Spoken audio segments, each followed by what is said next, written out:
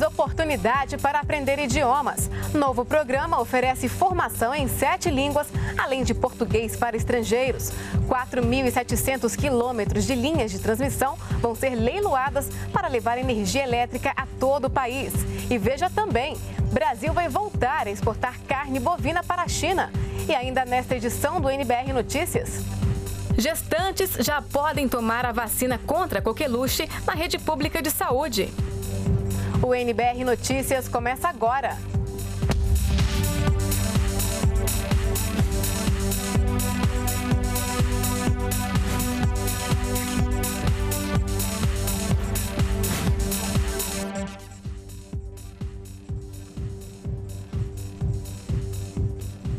Olá, boa noite. Geração de empregos, mudanças climáticas e a epidemia de ebola na África. Alguns dos assuntos da reunião do G20 neste fim de semana em Brisbane, na Austrália. O grupo reúne as maiores economias do mundo. Juntos, os 20 países representam 80% do comércio global e concentram dois terços da população do planeta. A presidenta Dilma Rousseff participou do encontro, que aprovou medidas para promover um crescimento econômico mundial de 2,1% até 2018. Brisbane é considerada um importante centro comercial e industrial. A cidade australiana parece com o Brasil. Muito sol e pessoas caminhando à vontade pelas ruas. Nos últimos dias, quem mora aqui viveu uma rotina diferente. Ruas fechadas e segurança reforçada. É que a cidade foi sede da cúpula do G20, grupo das economias mais ricas do mundo e para dar boas-vindas aos chefes de Estado, uma tradicional dança australiana. Antes da reunião do G20 começar, a presidenta Dilma Rousseff se reuniu com representantes dos BRICS, grupo formado por Brasil, Rússia, Índia, China e África do Sul. Um dos temas discutidos foi a formação do Banco de Desenvolvimento do Bloco, que vai financiar projetos de desenvolvimento e infraestrutura nos cinco países ficou acertado que os BRICS vão se esforçar para indicar os presidentes e vice-presidentes da instituição até a próxima cúpula na Rússia no ano que vem. Ele vai funcionar da seguinte forma: cada um dos BRICS vai colocar um, um vice-presidente e nós vamos fazer um rodízio a cada quatro anos. Um deles será o presidente em exercício. Já no G20, Dilma Rousseff participou de todas as reuniões. Durante a cúpula, foram aprovadas medidas para promover um crescimento econômico mundial de 2,1% até 2018. O documento final do G20 afirma que para a economia mundial voltar a crescer e gerar empregos, a principal medida a curto prazo é incentivar o consumo da população. Para isso, os países devem equilibrar as dívidas internas e colocar em prática políticas flexíveis que permitam investimentos públicos e privados. Outra ação acertada entre os líderes mundiais foi retomar as discussões para liberar o comércio mundial, que na prática significa remover barreiras e flexibilizar a cobrança de impostos e tarifas aduaneiras entre os países. Os líderes mundiais ainda se comprometeram em incluir mais de 100 milhões de mulheres no mercado de trabalho até 2025 e implementar a reforma do FMI, o Fundo Monetário Internacional, para dar maior poder de decisão aos países emergentes combater as mudanças climáticas e garantir o acesso da população à energia e educação. Essa reunião do G20 ela teve uma característica que foi, eu acredito, diferenciada, que foi o fato de uma preocupação grande com os processos de universalização, né? de levar as, as, as questões principais é, dentro de uma ótica de universalizar, no caso, a energia, no caso também eu acho fundamental a educação e isso, do ponto de vista, é, eu acredito, da economia, também é uma grande vantagem. Nós não podemos achar que economia não tem esse componente social, pelo contrário. Né? Acho que uma das coisas que o Brasil aprendeu é que economia também ela precisa de uma certa difusão, não só, por exemplo, da universalização da luz, da água e de vários outros serviços, mas também da universalização da educação e da educação de qualidade. Na Austrália, a presidenta Dilma Rousseff também comentou sobre a Operação Lava Jato da Polícia Federal, que apura denúncias na Petrobras. A presidenta Dilma Rousseff afirmou que as investigações na Petrobras vão mudar as relações entre sociedade, Estado e empresas privadas. Nós tivemos o primeiro escândalo da nossa história investigado. Aí há aí uma diferença substantiva. E eu acho que isso pode de fato mudar o país para sempre. No, em que sentido? no sentido que vai se acabar com a impunidade. Essa é, para mim, a característica principal dessa investigação. É mostrar que ela não é algo engavetável. A Operação Lava Jato entrou na sétima fase com a prisão de 23 pessoas na última sexta-feira. De acordo com as investigações, diretores da Petrobras fraudavam contratos com empresas fornecedoras para receber propina. A operação foi deflagrada em março deste ano e levou à prisão ex-diretores da Petrobras e executivos de empresas que tinham contrato com a estatal. A presidenta Dilma disse ainda que não se pode condenar a Petrobras. O que deve ser condenado, segundo ela, são as pessoas, os corruptos e os corruptores. Não se pode pegar a Petrobras e condenar a empresa. O que nós temos de condenar são pessoas. Pessoas dos dois lados, os corruptos e os corruptores. Eu acredito que a questão da Petrobras é uma questão simbólica para o Brasil. Acho que é a primeira investigação efetiva sobre corrupção no Brasil que envolve segmentos privados e públicos. A primeira. E que vai a fundo. Agora, nós podemos listar uma quantidade imensa de escândalos no Brasil que não foram levados a efeito. E talvez sejam esses escândalos que não foram investigados que são responsáveis pelo que aconteceu na Petrobras. E ainda durante o encontro da cúpula do G20 na Austrália, a presidenta Dilma Rousseff e o presidente da China assinaram um protocolo para a liberação de venda de carne bovina para o mercado chinês. A expectativa do governo brasileiro é que o acordo traga mais de 800 milhões de dólares em exportações. O acordo para a liberação de venda da carne brasileira à China foi oficializado em reunião entre a presidenta Dilma Rousseff e o presidente da China, Xi Jinping, na Austrália. Em 2012, o país asiático embargou a compra devido à suspeita de caso de doença conhecida como mal da vaca louca, no estado do Paraná.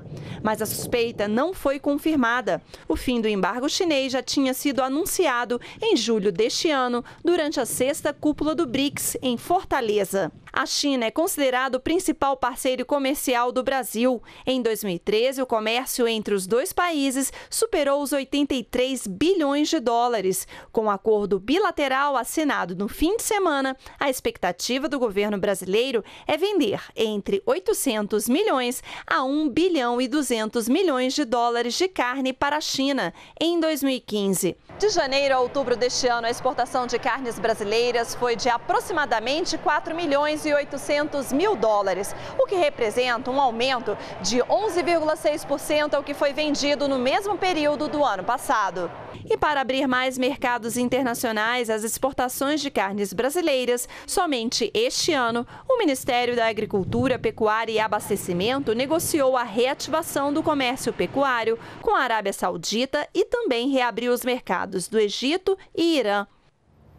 Mais de 4.500 quilômetros de linhas de transmissão de energia elétrica vão ser leiloadas amanhã em São Paulo. Com os novos empreendimentos, a ideia é reduzir os riscos de queda no fornecimento de energia e criar uma infraestrutura em locais onde está prevista a instalação de parques eólicos que utilizam o vento para a geração de energia. Ao todo, são 33 novas linhas de transmissão e 22 subestações. As obras vão ocorrer em oito estados brasileiros: Pará, Amapá, Tocantins, Mato Grosso, Mato Grosso do Sul, Goiás, Minas Gerais e Rio Grande do Sul. A energia, no entanto, vai ser interligada a um sistema nacional e ser transmitida para todo o país. Os prazos para que as novas linhas de transmissão comecem a operar variam de 30 a 42 meses. Já os contratos de concessão vão ter duração de 30 30 anos. Estão previstos 6 bilhões e 300 milhões de reais em investimentos, além da criação de 21 mil empregos. Nós temos nove lotes a serem leiloados, sendo que o, o lote, o primeiro lote, ele se subdivide em quatro sublotes. Nós temos linha desde o Amapá até o estado do Rio Grande do Sul. E são empreendimentos que vêm na linha de tornar mais robusto o sistema elétrico brasileiro, na medida em que essas linhas que vão ser construídas, elas vão ser importantes para dar conferir segurança ao crescimento da carga nessas diversas regiões do país. Técnicos do governo federal e de São Paulo se reuniram hoje para discutir soluções para a falta d'água no estado. A gente conversa agora com o repórter Ricardo Carandina, que tem outras informações. Boa noite, Carandina. Olá, muito boa noite a você e a todos. Aline foi uma reunião para detalhar projetos de obras que o governo de São Paulo quer executar para resolver o problema da falta d'água no estado. Na semana passada, o governador Geraldo Alckmin solicitou à presidenta Dilma Rousseff recursos para a execução dessas obras.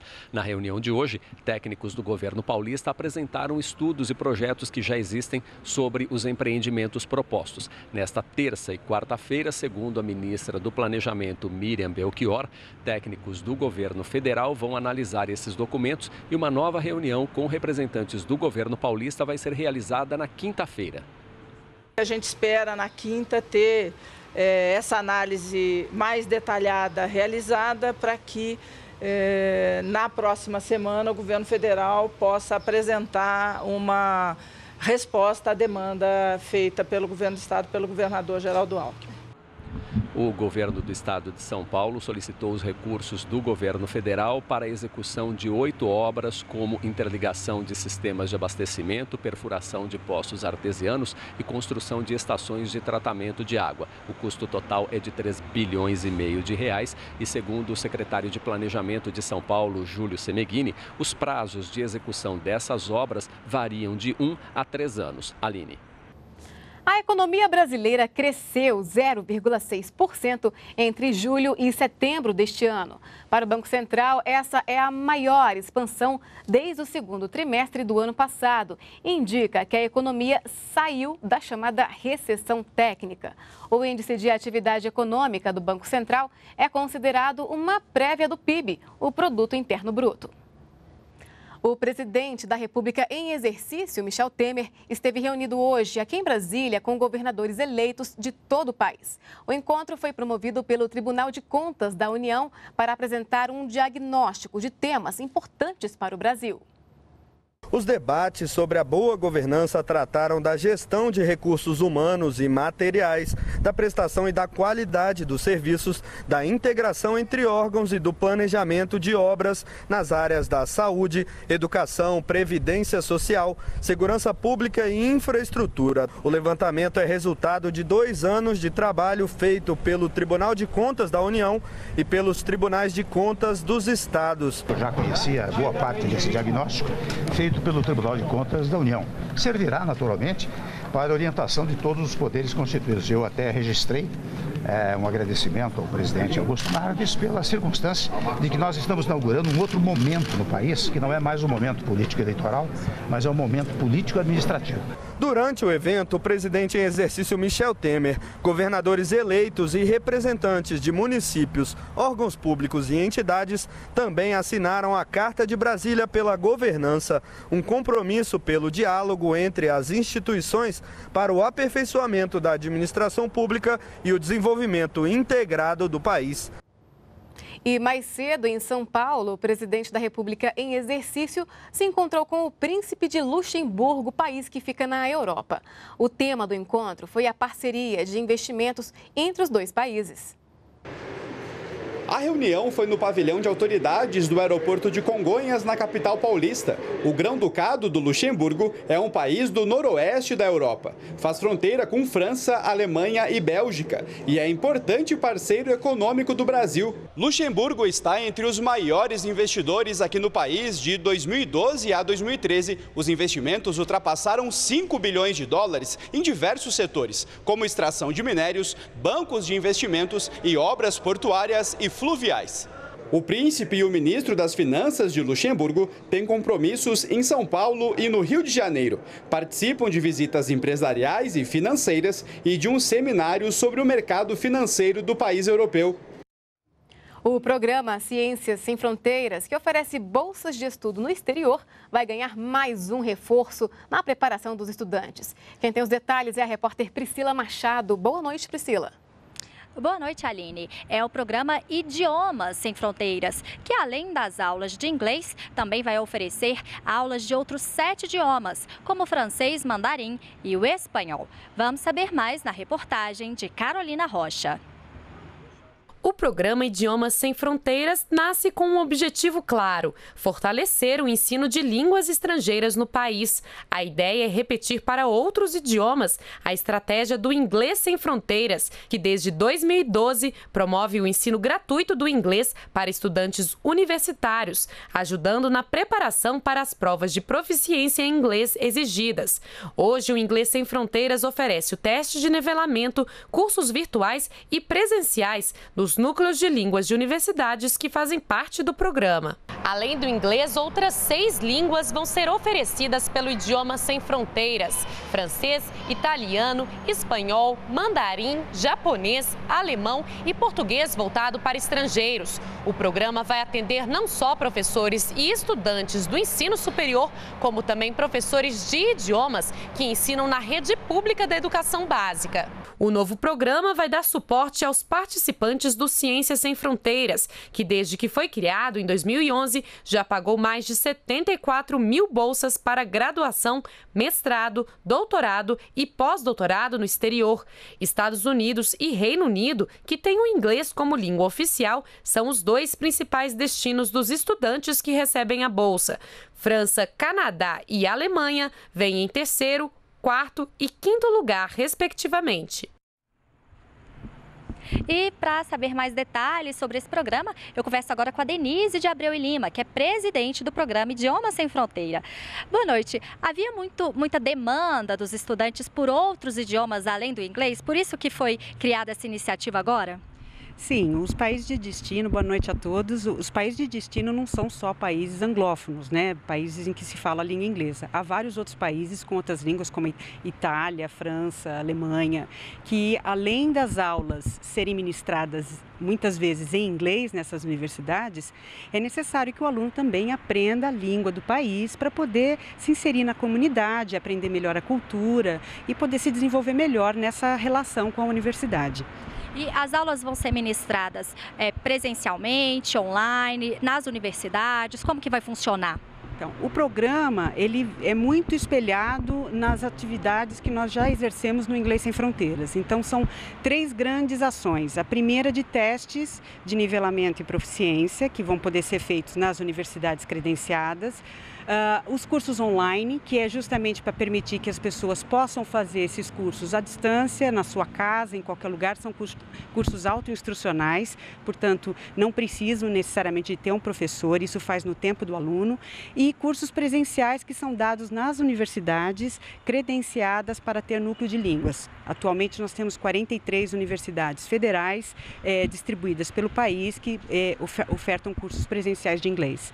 E o que, que o aluno interessado precisa fazer para participar? E tem uma previsão do número de vagas que, vão ser, que vai ser ofertada? É, esses, todos esses idiomas vão ser implementados conforme as parcerias forem sendo firmadas e os editais sendo abertos. Então é muito importante que, o, que os candidatos, eles, eh, aqueles interessados, entrem no site, tanto no portal do MEC como no isf.mec.gov.br que é o portal do programa, é, para ter as informações específicas a respeito de cada edital, porque para cada uma das ações há um perfil de público-alvo a ser atingido. Então, isso pode é, divergir de uma língua para outra. É, nós vamos abrir agora, é sexta-feira, no dia 21, as inscrições para o curso online de francês. São 1.500 vagas distribuídas entre universidades federais, estaduais e institutos federais. E os alunos interessados vão poder ter essas informações no edital que será publicado. Agora, uma das novidades também é o português, né? O curso de português vai ser ofertado para quem? Qual que é o objetivo? O Português Sem Fronteiras, nenhum processo de internacionalização se faz só enviando alunos para o exterior. Então, é muito necessário também receber pessoas estrangeiras no nosso país, tanto nas nossas universidades como em outros ambientes. Então, o Português Sem Fronteiras vai dar essa visibilidade para a nossa língua e para a nossa cultura. Vai permitir que eles tenham acesso a um teste online de nivelamento, a testes de proficiência, é, cursos online que eles possam é, ter um conhecimento básico sobre o português antes de vir para cá e também os cursos presenciais que poderão ser dados tanto aqui nas universidades brasileiras, é, nas federais, como no exterior também, conforme as parcerias forem se firmando.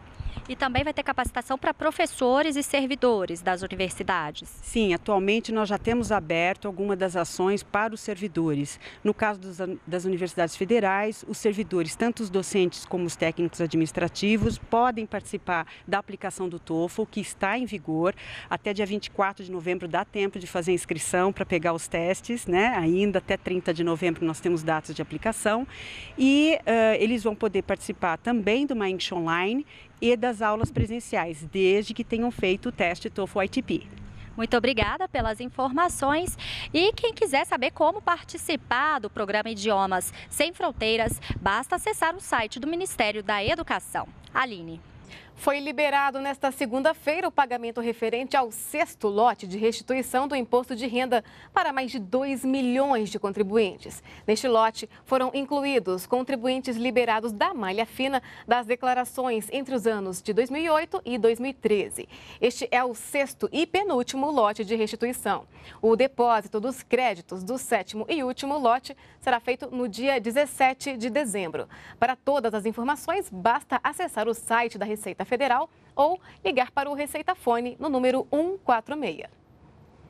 38 cidades da Paraíba, Minas Gerais e do Rio Grande do Sul tiveram reconhecida nesta segunda-feira situação de emergência por conta da seca e das fortes chuvas. O reconhecimento desse tipo de situação agiliza o repasse federal para assistência às vítimas e obras de reestruturação. As grávidas já podem tomar a vacina contra a coqueluche na rede pública de saúde. Quase 3 milhões de gestantes devem ser vacinadas. A vacina contra a coqueluche para as grávidas busca imunizar os recém-nascidos e bebês abaixo de seis meses. A vacina deve ser aplicada entre a 27ª e 36ª semana de gestação, ou até no máximo 20 dias antes do parto.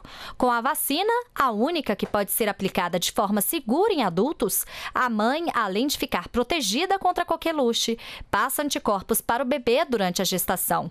Isso garante imunidade para a criança antes que ela complete o ciclo de vacinas contra a doença. A primeira dose para o bebê é aplicada aos dois meses de vida, depois ele recebe outras doses aos quatro e seis meses, e o reforço aos 15 meses e também aos quatro anos. A vacina é gratuita, é testada, utilizada em muitos países, em todo o mundo, inclusive aqui na América Latina. É uma vacina nova, mas que confere uma grande proteção. Quase 3 milhões de grávidas devem ser vacinadas, além de cerca de 300 320 mil profissionais de saúde de maternidades e UTIs neonatais. Já foram distribuídas 1 milhão e 200 mil doses da vacina para todo o país. A vacina contra a coqueluche já está disponível em 35 mil postos de saúde. A coqueluche é uma doença infecciosa que pode causar complicações como a pneumonia. Depois da década de 80, o número de casos da doença diminuiu em todo o mundo, mas a partir de 2011 2011, o número de notificações tem aumentado, principalmente em crianças abaixo dos seis meses. Estamos observando um aumento no número de casos de coqueluche e também de óbitos nos bebês até seis meses de idade, certo? Exatamente período em que ele precisa dessas células de proteção que ele recebe da mãe, certo? Até que seu organismo possa produzir células de defesa e ele possa se proteger contra a coqueluche através desses anticorpos que ele mesmo vai poder criar o bebê a partir do momento que tomar a vacinação a partir do segundo mês de vida. A psicóloga Melissa, grávida do segundo filho, conta que já estava preocupada em se imunizar contra a coqueluche e já havia pesquisado a oferta da vacina em clínicas privadas. Agora, com a vacina pelo SUS, ela afirma que vai ficar mais tranquila quanto à saúde do bebê. A gente tem todo o cuidado de vacinar a criança nos períodos para evitar que as doenças venham, né? Então, e o que eu puder já fazer antes para que isso não aconteça, eu vou fazer. Isso aí você pode ter certeza. Além de coqueluche, o SUS já oferece para as grávidas vacinas contra a influenza, difteria, tétano e hepatite B. Esta edição do NBR Notícias fica por aqui. Outros detalhes sobre os serviços e as informações do governo federal no Portal Brasil. Para você, uma boa noite e até amanhã. Continue com a gente aqui na NBR, a TV do Governo Federal.